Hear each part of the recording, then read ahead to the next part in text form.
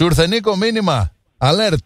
Ναι, ναι, για μένα τώρα μου χτύπησε. Προειδοποιητικό Ναι, μήνυμα τώρα για το μου επόμενο Ναι, ναι. 48ωρο Ναι, για ναι, ναι. επικίνδυνα καιρικά φαινόμενα, καταιγίδες, ραγδαίες, βροχοπτώσεις ε, κεραυνοί στην περιοχή σας, μου λέει.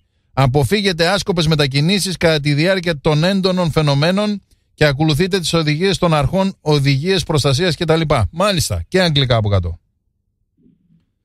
Μάλιστα. Τι κάνετε, κύριε Παπαδόπουλε; Πάνω σε αυτό που είπες τι άλλο θα δούμε στην πόλη, πολύ μικρή ιστορία, Για πες. συνδέεται και, και, με το, ρα- και με το ραδιόφωνο. Ναι. Ήταν πριν μερικά χρόνια που με τον Νίκο Τομοσοβίτη κάναμε 10-12 το βράδυ. Ναι. Και φεύγουμε, φεύγουμε τον Νίκο για να πάμε να πάρουμε τα μάξι. Εγώ το είχα αφήσει κοντά στα δικαστήρια. Ναι. Και με, τον, ε, και με τον συγχωρεμένο τον Βασίλη τον Καβαδία. Ε, Ναι. και πηγαίνουμε και εκεί που φτάνουμε στο πάρκο που έχει στα δικαστήρια, εκεί που είναι το ΙΚΑ, Μμ.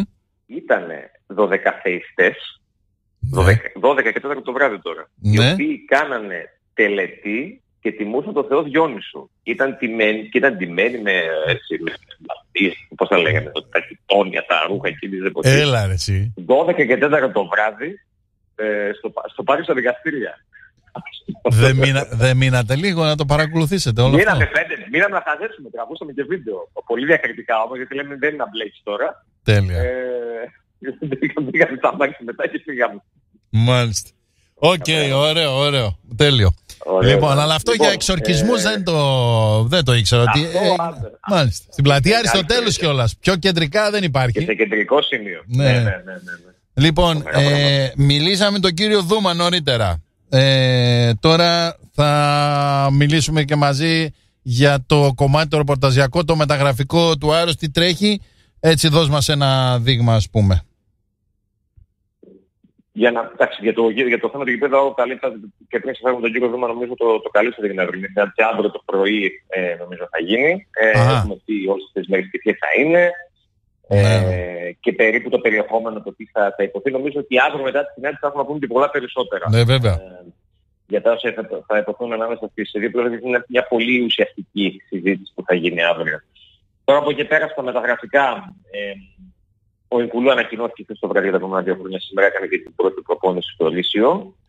Ε, μένει πλέον μετά από έτσι μια, δύο, τρεις μέρες να, να το δω και αύριο του άρχισε την κατάσταση είναι και να ε, συγκροτηθεί και ένα πρόγραμμα το οποίο θα ακολουθήσει συγκεκριμένο και ένα, και ένα χρονοδιάγραμμα για το πότε θα είναι στη διάθεση του Χερμανμπουργός ο Καμερουνέζος. Ε, και από εκεί και πέρα το θέμα του, του Μπρούνο Κώστα υπάρχει αυτή η εμπλοκή από χθες το μεσημέρι που, που είδα το φως δημοσιότητας σε αυτά τα δημοσιότητα στην Πορτογαλία και συγκεκριμένα Ναι. στο Ζόγο που έχει βάση και λέει ότι όντως ο Κωσεϊσάο ε, θέλει να κρατήσει τον ποδοσφαιριστή. Δεν νομίζω ότι θέλει να τον κρατήσει για όλη τη χρονιά. Γιατί το θέμα του Κωσεϊσάου αυτή τη στιγμή είναι ότι ο Μπρούγκης είναι τραυματίας, ο βασικός αμυντικός Ε, ναι. σκαφ, Ναι. δεν έχει και άλλη επιλογή.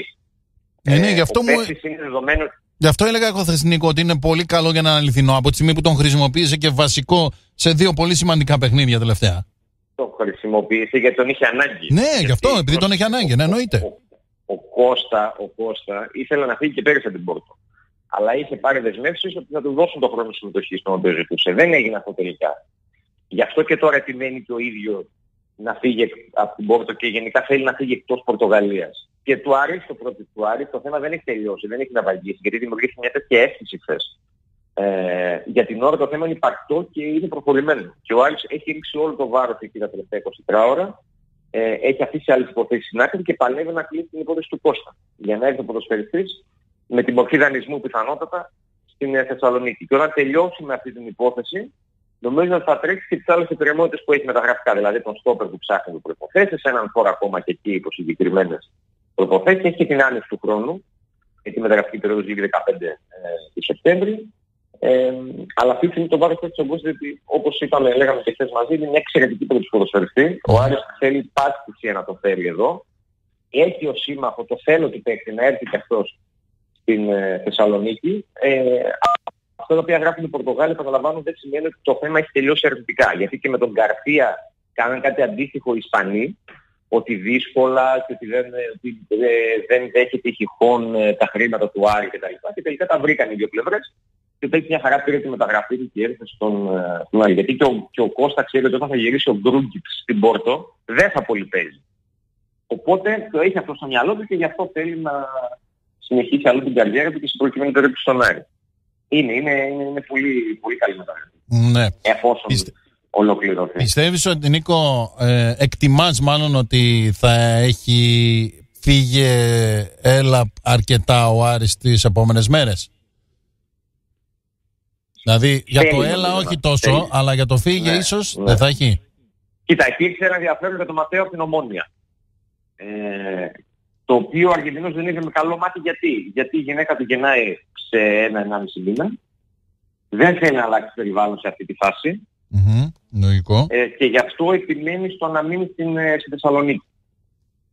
Και δεν είναι θετικός η μετακίνησή του στην Κύπρο. Βέβαια, ο Ματέο νομίζω ότι έχει την, ε, την οξυδέρη και να διακρίνει ότι σε αυτόν τον Άρη φέτος και με δύο διοργανώσεις δύσκολα θα έχει χρόνο συμμετοχής.